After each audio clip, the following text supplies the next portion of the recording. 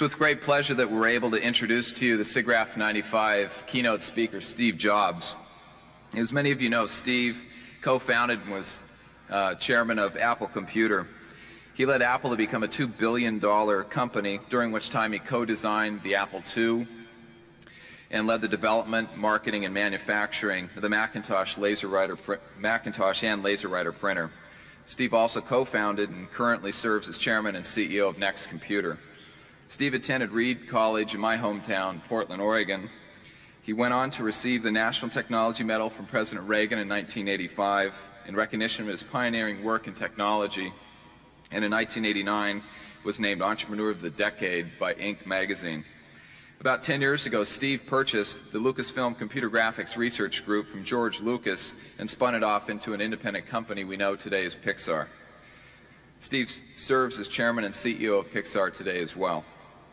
In 1988, Pixar won the Best Animated Short Academy Award for Tin Toy, the first time a computer animated film was awarded with an Oscar. Pixar, together with Walt Disney Company, is currently in production on the first ever completely computer-generated feature-length film in history, which is called Toy Story, and it will come to life this Thanksgiving. Please give a warm welcome to Steve Jobs.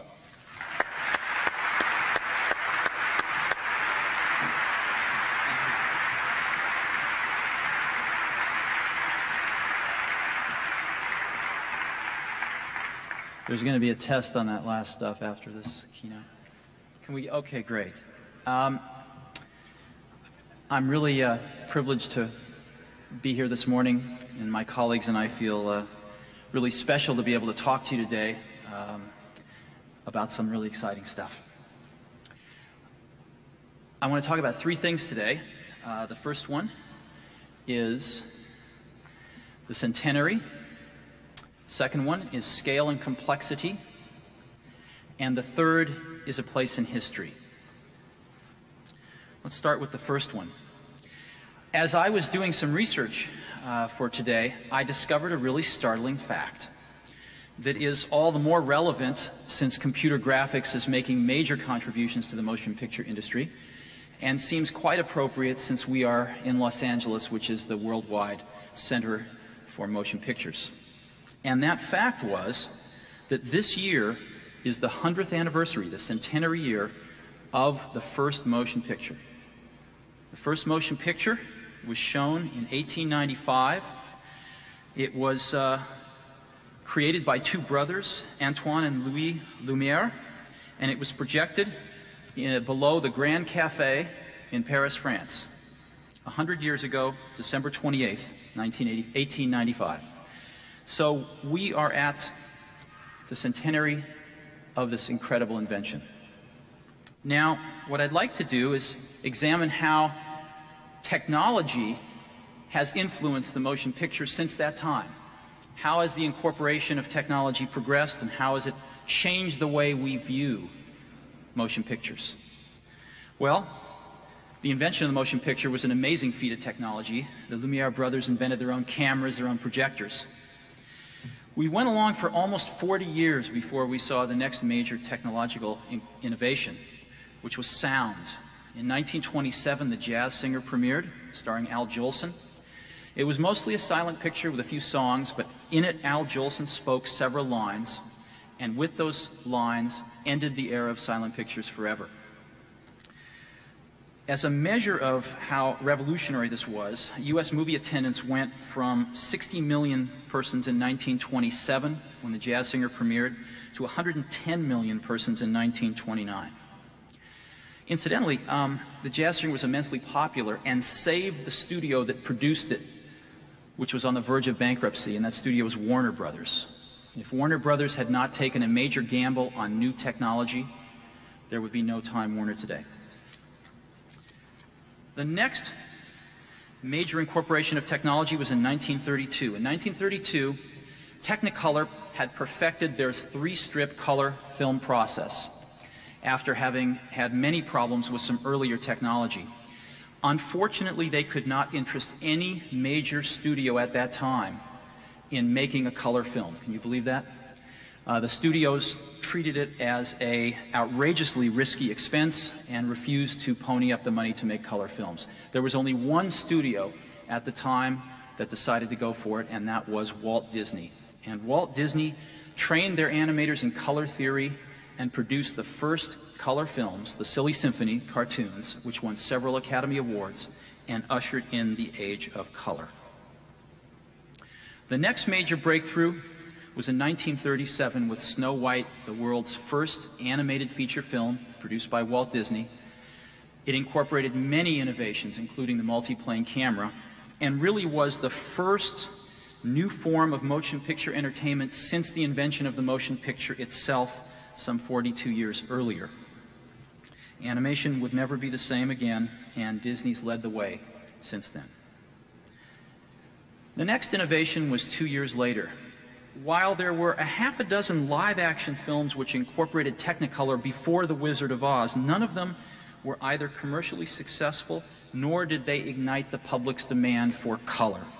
The Wizard of Oz changed all that and became the icon of bringing color into live action films. We then progress almost 40 years before the next major incorporation of new technology, which was Star Wars in 1977. Star Wars not only totally redefined the science fiction motion picture film genre, but it also elevated special effects to become an equal partner to live action in storytelling and motion pictures. Now, although Star Wars' effects were produced pre-computer graphics, they really opened the door for everything that followed, and we are still living in their shadow today. We then progress a little over a decade to Terminator 2. Although Terminator 2 was the first film to bring computer graphics special effects into the mainstream. Although there were a few films to incorporate computer graphics special effects, like Alien and the Abyss before Terminator 2, Terminator 2 was what captured the public and elevated special computer graphics special effects to the mainstream. This was followed two years later by Jurassic Park, which carried the art a little further and created the most commercially successful film of all time because of the computer graphics special effects. And that brings us to 1995. In 1995, the centenary year of the invention of the motion picture itself, we have another major milestone, something I think will go down as a landmark in motion picture history, and that is the first completely computer generated feature length motion picture. Completely computer synthetic on the 100th anniversary of the motion picture itself, and that, of course, is Toy Story. Toy Story represents the computer graphics community contributing not just special effects to a motion picture, but the entire motion picture itself. It's a breakthrough on the scale of Technicolor, Snow White, and Star Wars. It is way beyond what we've seen in computer graphics special effects. Uh, without diminishing Jurassic Park in any way, let me illustrate. If you take Jurassic Park and stack all of the frames that contain any computer synthetic element back to back, you get about five and a half minutes. Of course, these frames do not include background sets or anything, usually just a, one computer synthetic element. Toy Story is 79 minutes in length, and every frame is totally synthetic. Major, minor characters, background, sets, etc. An order of magnitude leap. And again, most importantly, we see computer graphics not just playing a supporting role to live action, but actually providing the entire vision for the motion picture. Now, I know a lot of you have seen Toy Story, a clip in the film show. I have that clip here today on film if you'd like to see it again. Would you like to see it or would you like to skip it? Okay, great. Well, I'd love to show it. So, can we get the lights down and show the first clip?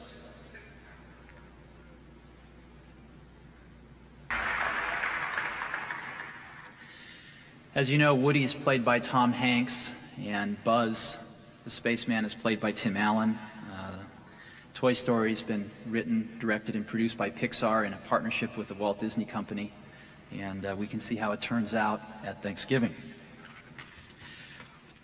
Next, I, uh, we've come a long way in 100 years. I want to talk about scale and complexity uh, to highlight a little bit of, of what we've seen here. Uh, the first is, uh, as I mentioned, 79 minutes long, every frame completely computer synthetic. It's 114,000 frames, um, about 1,600 different shots, so it's a very complex movie in terms of the number of shots.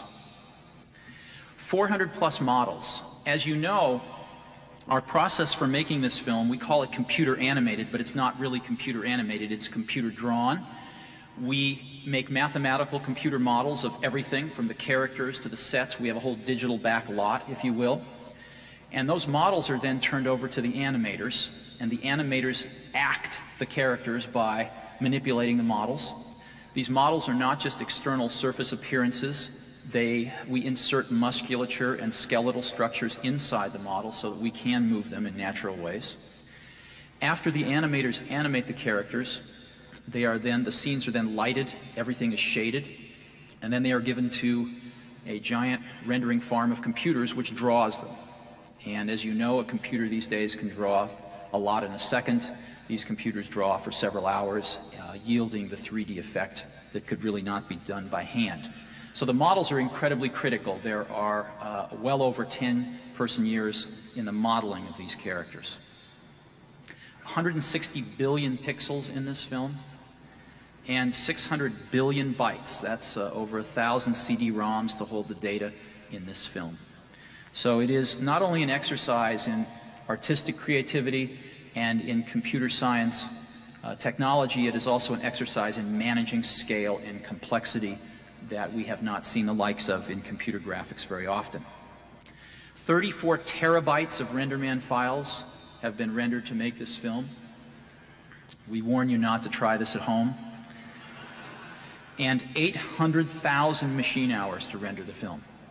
Uh, by the way, we use uh, Sun's fastest product, SPARCstation 20 quad processors to do this on. So that's a feeling for some of the scale. Let's take a look at some of the complexity. This is Woody, a character throughout the film.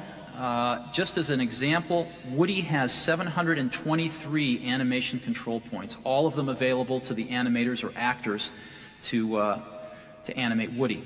212 of them are on the face, uh, 58 of them on the mouth alone. This is Buzz. Buzz has approximately the same number of animation controls, and texture maps uh, has 189 texture maps at the beginning of the film when he's nice and clean. Uh, he gets dirty, dirtier throughout the film, and at his most dirty point, he has 639 different texture maps.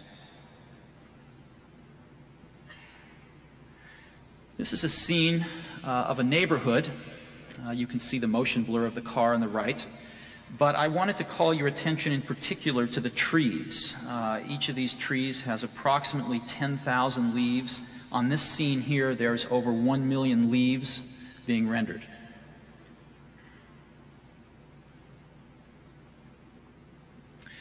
This is a scene uh, with cars in it. We have 36 automobiles in Toy Story, 13 different chassis and power plants arranged with different bodies. And this is a scene from a gas station. As you can see, uh, Woody and Buzz are not getting along too well. Uh, they arrive at a gas station and uh, they meet this truck there after they get uh, lost out of the minivan. This truck has 36 different lights on it if you count the headlights and the tail lights, the running lights. It has 200 feet, 200 feet of tubing on it. It has 346 bolts in it, 18 wheels. It has over 2,000 surfaces and over 20,000 animation controls on it. Now, what I'd like to do now, again, to show you a flavor of the complexity, is I brought along another 90 second clip uh, from this gas station scene, and if we could go ahead and roll that now.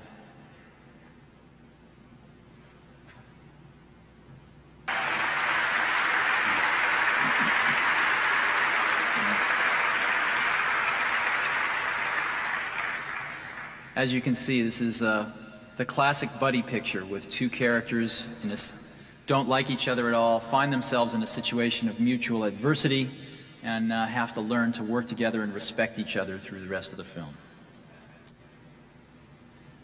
I want to talk for a minute about a place in history. The computer graphics community has been climbing the wall of the castle uh, for 20 years, standing on each other's shoulders, and made immense progress, as we've seen today. And finally, uh, we have now scaled the castle wall, and we're in the castle now with Toy Story. And I think that that is an achievement that many people in this room uh, should take proud um, ownership in. And we should take a few minutes today on the 100th anniversary of the invention of the motion picture to contemplate the contributions that we're making. We have now pioneered, I think, really the next major offshoot of the motion picture it's going to be a medium in its own right. It's going to have unique talents in itself that we will find boundaries for as we explore it over the next many years. And this is an achievement that I, I hope everybody this year and possibly today takes a few minutes to just contemplate and feel pride in. There will be a, cent- a second centenary of the invention of the motion picture 100 years from now. None of us will be here at that event, but hopefully there will be a lot of people here talking about how it's been 200 years since the invention of the motion picture. I think they will also be talking about how it has been 100 years at that time since the first computer animated synthetic feature film premiered. And I would like to suggest that we all have a lot to be proud of as a community, and we feel very honored uh, to be producing this picture representing the works of all of us over the last 20 years. Thank you very much.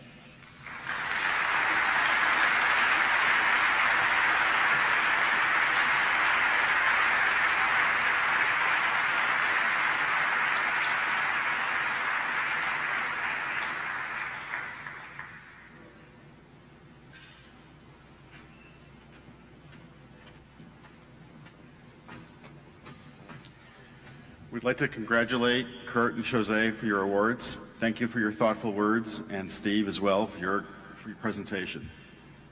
Thanks a lot for coming, everybody.